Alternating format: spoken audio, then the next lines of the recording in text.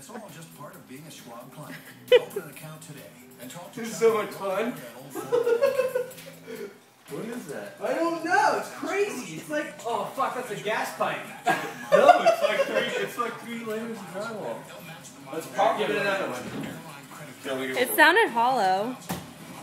I'm gonna hit it right here. yeah, it's a good spot, I think.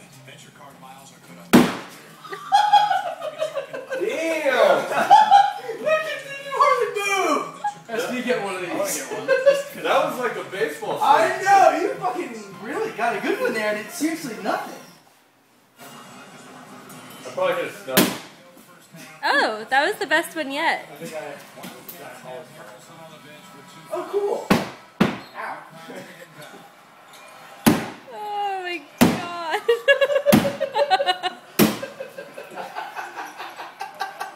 god.